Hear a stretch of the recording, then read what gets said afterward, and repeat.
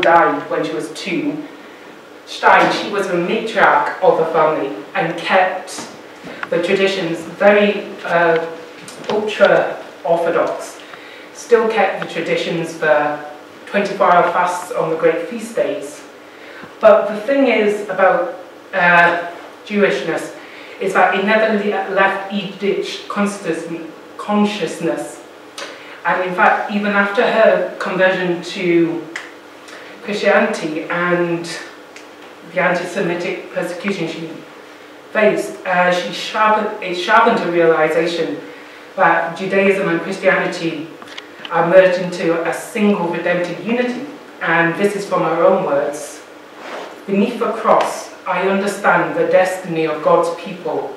Indeed, today, I know far better what it means to be the Lord's bride under the sign of a cross. But since it is a mystery, it can never be understood by reason alone. And this is one of the great things I find about the Catholic Church is we kind of talk more about uh, Israel and the joining of the Old Testament and the New Testament together. Uh, it's only recently, actually, that, uh, especially the uh, Anglican Church, actually talks about the, you know, where the fulfillment of the Israel's, Israel's promise. So if you ever go through the Old Testament, there's always that sense of longing, uh, unfortunately. And, you know, the Catholic Church uh, is really good at expressing this. But, unfortunately, the Jewishness was to prove a controversial thing because, uh, unfortunately, the during the occupied, she was, during the occupation of uh, Holland and Belgium, there were Catholics who forgot that, you know, the Jews are a sis, you know, sister and, you know, just went to Mass and then would, the day after Mass, order the deportation of about 10,000 Jews and think nothing of it, which is the tragedy of it as well. But Thankfully, uh, the church in Lumen Gentium said no, they are to be respected. Uh, but also, unfortunately, it was to prove a source of conflict in her own family because uh, later I'll go on to it. Uh, her mother was deeply upset by her becoming Catholic and when she became a nun, she said, why did you have to get to know him? This is talking about Jesus. He was a good man. I'm not saying anything against him, but why did he have to go and make himself God? And I think this kind of, misunderstanding of it, that, and we see it, you know, throughout our uh, society, why did he have to make himself God? Because she followed the truth uh, which is God, uh, you know, Jesus is the Son of God, the Messiah, you know, Israel's fulfillment. And also that calling as well. Uh, when I was doing research, Psalm 44, uh, the great bridal, royal bridal psalm says, Listen, O daughter, give ear to my words, forget your own people and your father's house, so the king will desire your beauty. And this is it, because we're all here as your name to do God a service.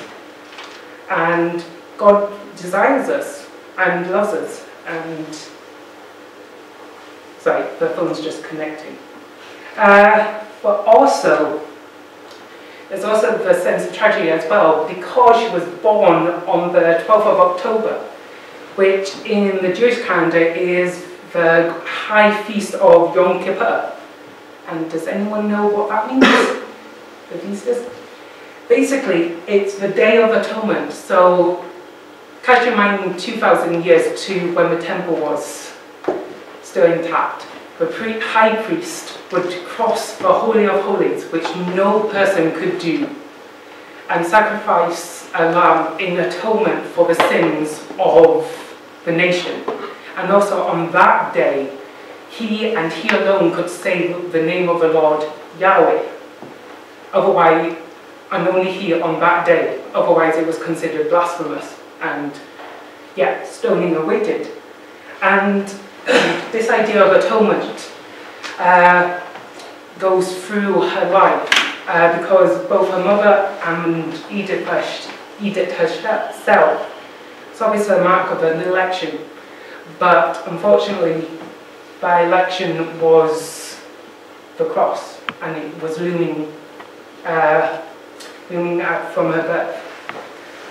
So, uh, so now we're moving on to from the age of about 14 to 21. And like all the good saints, and I do mean the good saints, she was a gifted child, uh, but she was also a little terror as well. Uh, if you ever read her biography, she used to storm off and like, every, like child, just scream my place down, banging, uh, banging everything. Uh, just to show, you know, that us saints aren't perfect. But she was uh, very gifted from her academic career. And throughout her life, uh, there was a real intelligence, an iron will, because she seriously did not like not getting her own way.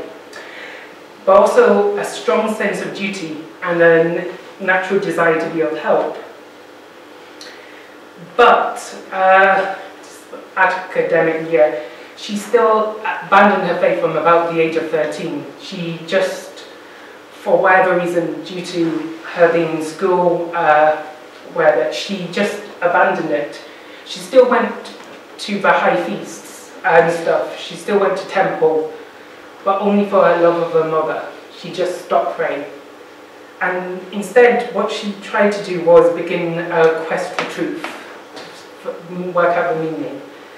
But as uh, Blessed John Paul II said in her canonization, she sought the truth and she found God.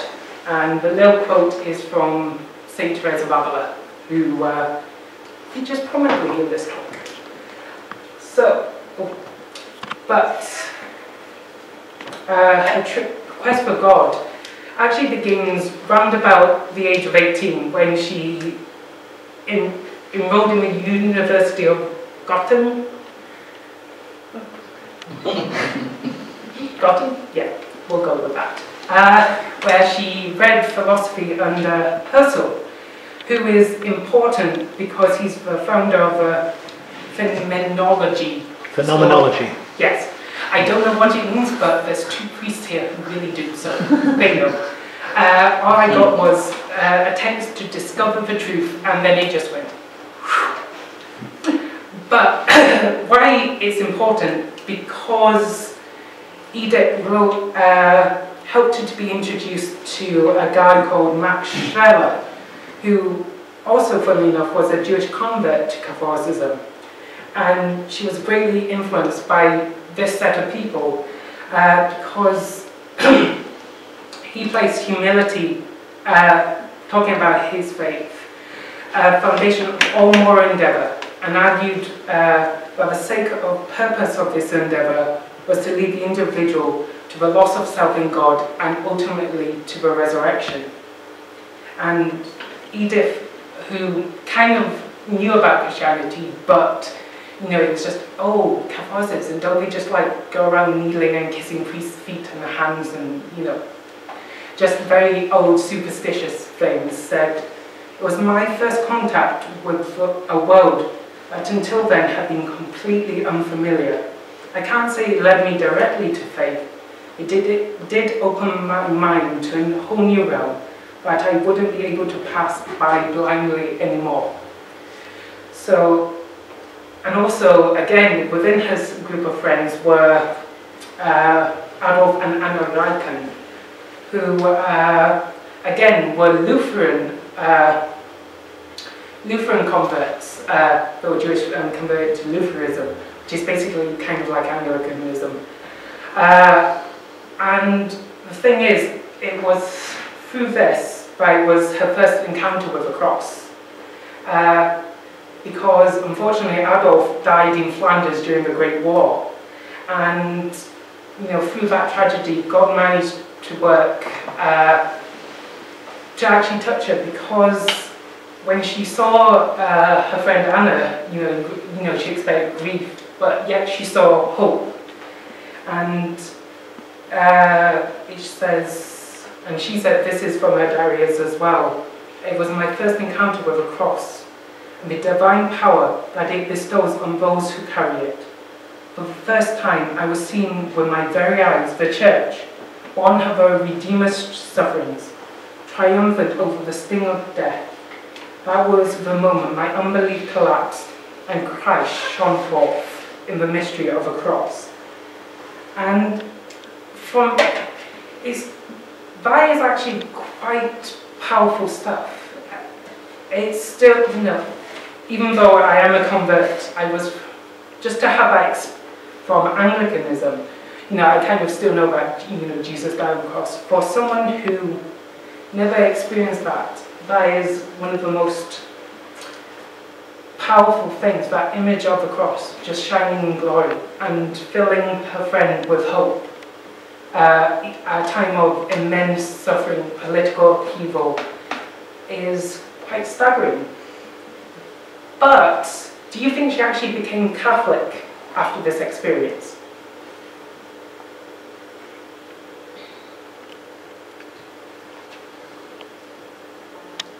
You're the one giving the talk. You hmm. tell us.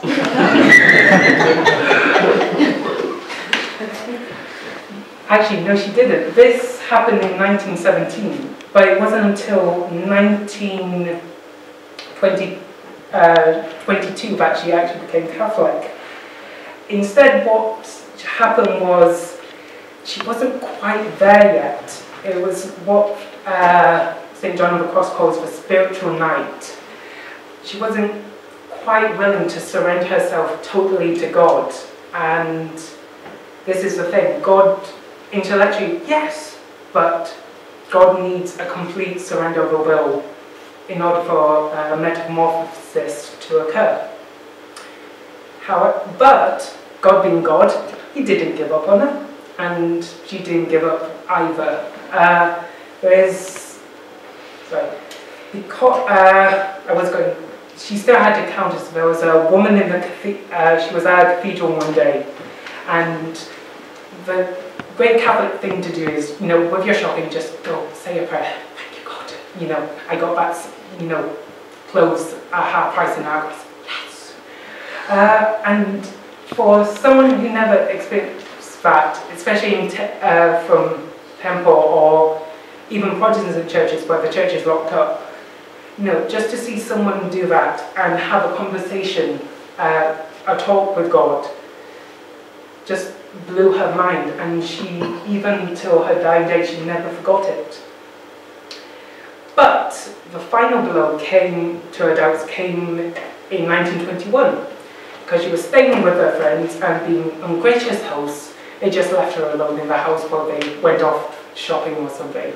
So, but they left her books. So actually, so the book that she spent a lot of time reading about was the life of Saint Teresa of Avila, who is a 17th no, 16th century mystic who basically reformed the Carmelite order and was one of the leading figures in the Counter-Reformation. So, yeah, I would recommend Wikipedia her. She's really a really good state. And the thing was, she spent the whole night reading it, and after putting it down, she just said, "This is truth." And the truth was what she was forgetting was God is love and doesn't reveal his mysteries to intelligence alone, but to the heart that surrenders itself to him. And Saint Teresa of Avila said that this uh, inner resistance, you know, which denies us offering ourselves completely to God, is through prayer, and that's inner prayer. And that never left her. Throughout her life, uh, every person who came in contact to her said that was her lifeblood. Uh, one abbot remarked, all she wanted was to be with God in church and to have the great mysteries right in front of her. And yeah, and after this experience, she bought a missal catechism and impressed the priest, a local priest so much she was baptized on January the 1st, 1922 and confirmed on Candlemas that following year. And this day of life really interests me because I see elements of my own conversion story as well because basically I was kind of a Anglican but I kind of led not a very good Christian life in that just basically to the end of moral bankruptcy and just yeah and just actually started reading St. Augustine and also about the history of the church and that's when I thought, oh, the Catholic Church actually is you know, the church which Christ vested authority. And as Father Keith can tell you, on my first visit there, I was standing right there next to a radiator in the corner just looking sheepish while he was there in his green vestments, actually. Uh, yeah, and also the gospel reading was Zacchaeus as well. Uh, right and climb to Carmel. So this is her when she, uh, either when she was baptized or when she became a nun. So I'll let you choose which one. And the poem is from her own uh, lovely thing. But unfortunately, it gets darker as uh, time moves on. But this actually sprung to my mind today when a bishop's talk on Saturday when he said Christianity is a joy, but it does not that joy doesn't exclude suffering. It's how we deal with that suffering. And Edith, Edith Stein uh, was happy, uh, even though she suffered, she was happy to be in the service of the church. Uh, and even from 1921, she was always drawn to a religious order she first tried uh, the being a Benedictine, didn't quite suit her, but her first love was always the Carmelite order. And but unfortunately, she didn't really enter the convent out of respect to her spiritual advisors because she was really intelligent uh, and a natural speaker. They kind of thought you can do work outside uh, an enclosed order and so she went on trips around the world, uh, telling women how to live in the spirit of Jesus and the vocation and formation of women, while also translating Blessed John Henry Newman and St. Thomas Aquinas into German and giving commentaries on it, which are still considered very uh, influential today. But by 1933, she was a teacher in uh, Munster, but unfortunately, uh, she had to end it. And does anyone know why? What? 1933. That's when Hitler came to power and he started enacting the Aryan laws. So basically, to be a teacher or hold public office, you had to be of pure Aryan blood. And Aryan. Aryan. Yes, I get confused with the heresies. Uh, but despite the setback, she didn't let it get to her. Instead, she saw that tragedy and said, might this be the time to enter Carmel? And she spent about good 13 hours before the Blessed Sacrament in her local church and said the answer got yes. And she entered uh, the Cologne Carmel singing for joy as a child to its mother's arms, never doubting her almost blind enthusiasm for an instant. And that's a and that kind of for me is the element of vocation as well. Once you know, you know, God, give yourself fully to God. And that's why, you know, it inspires, makes you happy, and yeah, just feeling that you're right. And also, uh, she took the name Teresa Benedicta Kreutzer. And, you know, again, the cross at this stage, again, was looming and becoming more real to her. Uh, and also her love of St. Therese and St. Benedict. And throughout this period, uh, she made uh, one of her, even as a nun, she was, even though she was about 44 at the time, she made that profound impact through her prayer and also being humble as well. She, even though she hated getting up and cooking, cooking and scrubbing floors, she did it out of love for God. And also, again, uh, philosophy as well, because uh, one of her most important works is The Science of the Cross, which hopefully one day may make her a doctor of the church, but pray for that. Uh, it's basically, I can't have, don't have a copy of it, hinting Christmas present. Uh, but the essence of it is summarized by Blessed John Paul II, and it says, The love of Christ and human freedom are intertwined because love and truth have an intrinsic relationship. Truth and love need each other.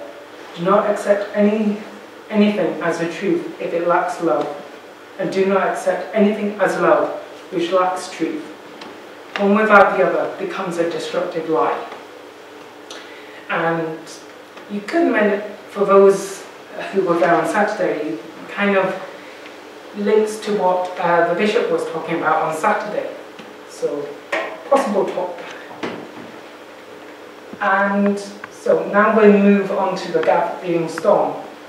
And this, uh, this is, this was actually written three months after Hitler assumed power. And Edith was under no illusion at all uh, about what the Nazis were, like white opposed to God, uh, the church, and human beings.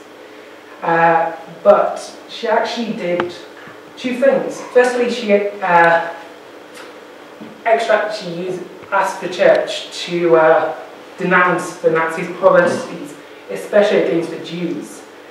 And even though we don't have an idea whether Pope Pius actually read this letter, uh, it's interesting to note that in 1937 he issued an encyclical called Mit Brennender Sorge, where he, he uh, criticized the Nazis, uh, Nazis' policies and condemned anti-Semitism. And even before his death in 1939 was in the process of writing uh, another encyclical condemning racism and anti-Semitism. And either way, I think he did read it. And like any good pope, with even with Catherine of Siena, he listened to a woman, and because she was right. But uh, also was the atonement that we talked about, where I talked about on Yom Kippur. She offered herself up as a sacrifice, and she now, from when Hitler assumed power, she sorry, she had to atone for it. Uh, and there's lovely stories where she uh, saw a Jewish person being beaten, beaten up, and she was so horrified by it that she said an atonement has to be made. And she then idea in her consciousness developed of Queen Esther from the Bible. Does anyone know the story? Book of Esther. Yes. Uh, she actually started seeing herself as a Esther, and this is the excerpt from when she was in the Netherlands. Uh, I firmly believe that the Lord has accepted my life as an offering for all. It's important for me to keep Queen Esther in mind. Remember how she was separated from her people just so that she could intercede for them before the king. I myself certainly am a poor and insignificant little Esther. I take comfort from the fact that the King who has chosen me is infinitely kind and merciful. And from this period onwards, she, people say she, uh, there was a change. She didn't anticipate a life of suffering.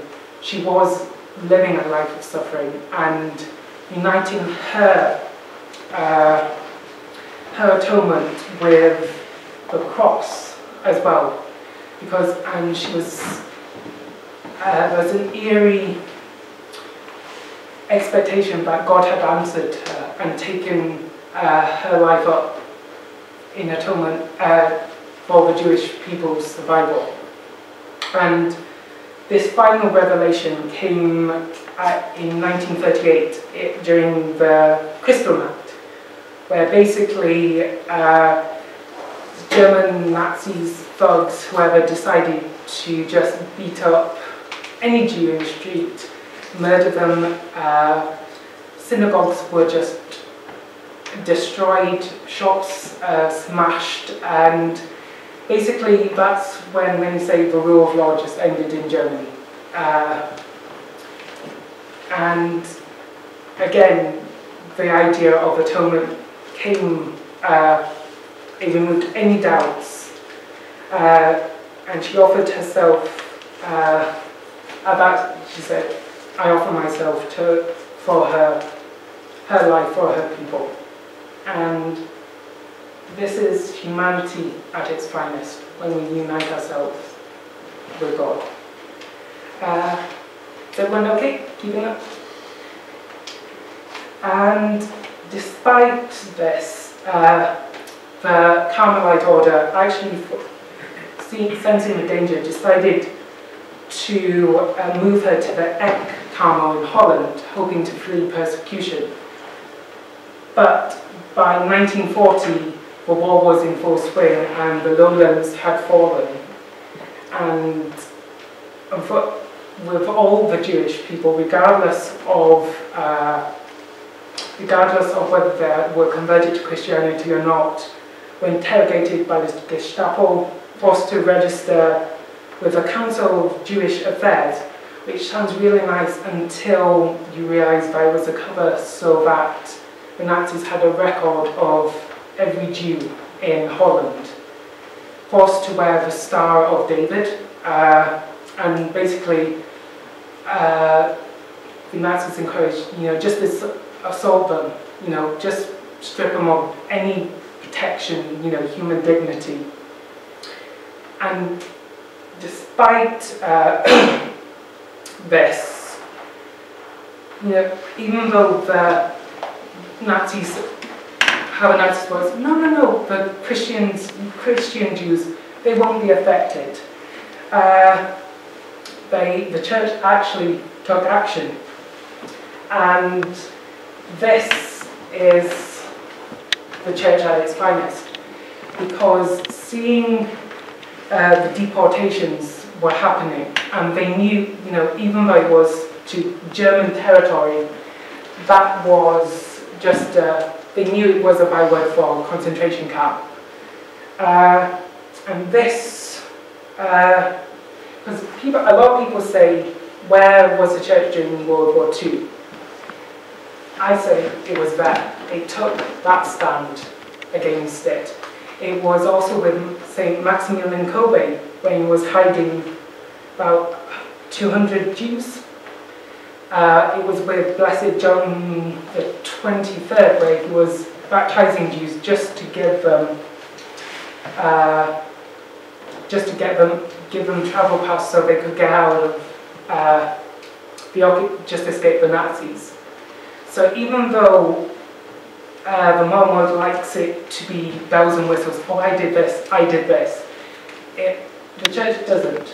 It operated uh, in a calm and you know very secretive way because when dealing with human, you know, human dignity, it doesn't go for bells and whistles.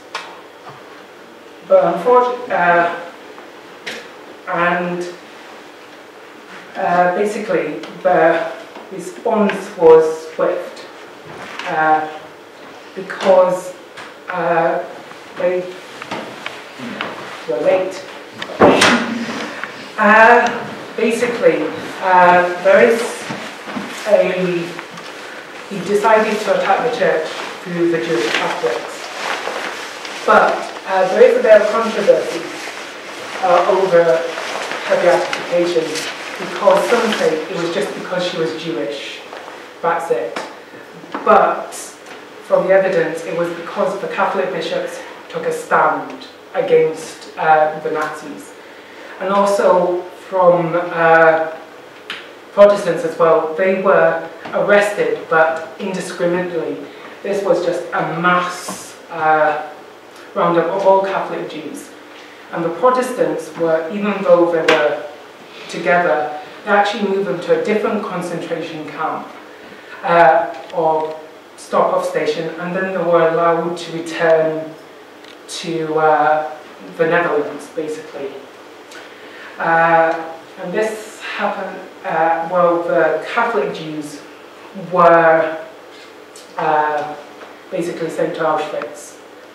And basically in the evening of the 2nd of August of 1942, uh, the Gestapo came for her and still embracing the cross, she said, uh, united her sufferings with Christ and said to her sister who, was, who had also converted, Rosa, komm, wir gehen für unser Werk, which means, Rosa, come, we are going for the life of my, our people. And from that, uh, the 5th till the 7th, she basically was the spiritual leader of all the Catholic Jews and she was interned at Westerbork.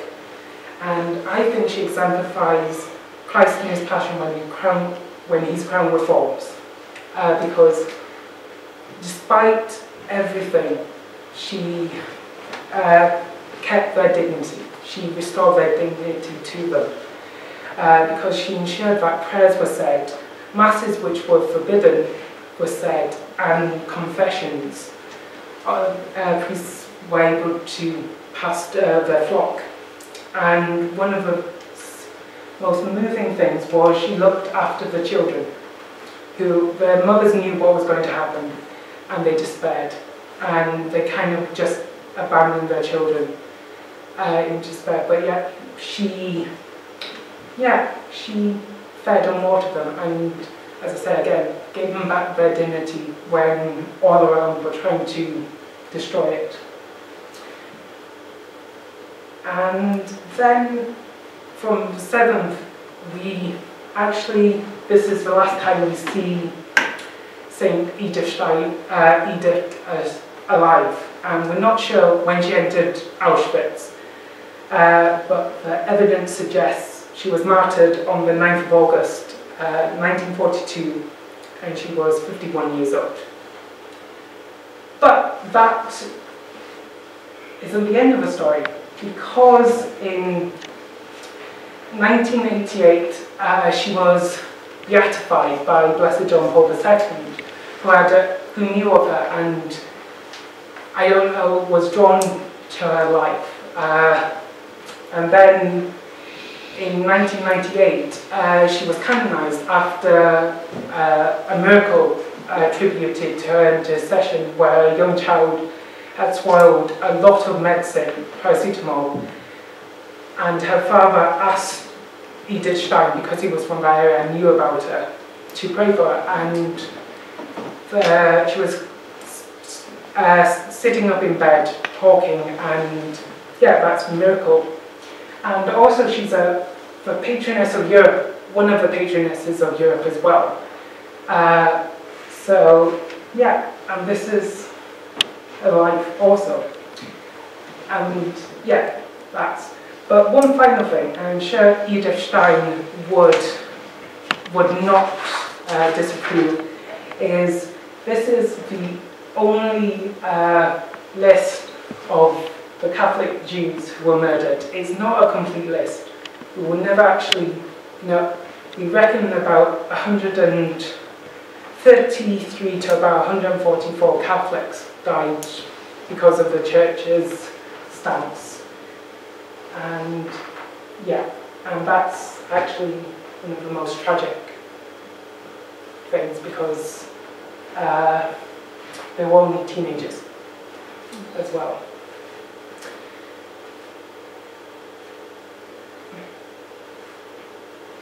And then you say, Eternal rest grant unto them, O Lord, and let perpetual light shine upon them.